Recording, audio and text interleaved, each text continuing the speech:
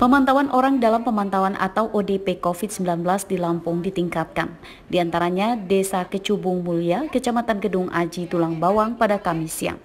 Aparat kampung melibatkan bidan desa mendatangi rumah warga yang baru datang dari luar daerah atau Pulau Jawa untuk dilakukan pemeriksaan kesehatannya.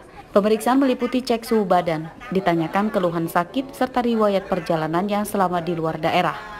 Kegiatan mendatangi langsung warga berstatus ODP ini agar mereka tetap berada di rumah dalam masa karantina mandiri untuk menghindari penyebaran COVID-19. Uh, Alhamdulillah ternyata uh, kondisi suhu badannya hanya 36,2 terus tidak ada keluhan lain. Tapi ya kita pemantauan tetap pemantauan sampai 14 eh, hari tetap ibu di apa dimotivasi untuk tetap jaga kesehatan.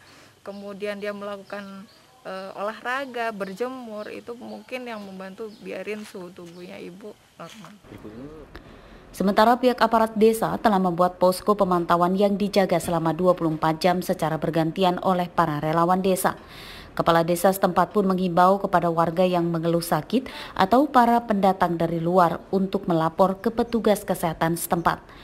Untuk pemantauan warga yang pulang dari luar daerah, yaitu setiap yang pulang diwajibkan melapor ke Pak RT, Pak RK setempat. Dan didata semuanya yang pulang dari luar daerah. Dan dianjurkan tidak boleh keluar isolasi diri di rumah masing-masing. Berdasarkan data parat desa saat ini, ada sebanyak 42 warga perantau dari Jawa yang pulang. Mereka pun telah diberitahukan untuk melakukan karantina mandiri selama 14 hari sesuai anjuran pemerintah. Mustaqim melaporkan dari Tulang Bawang.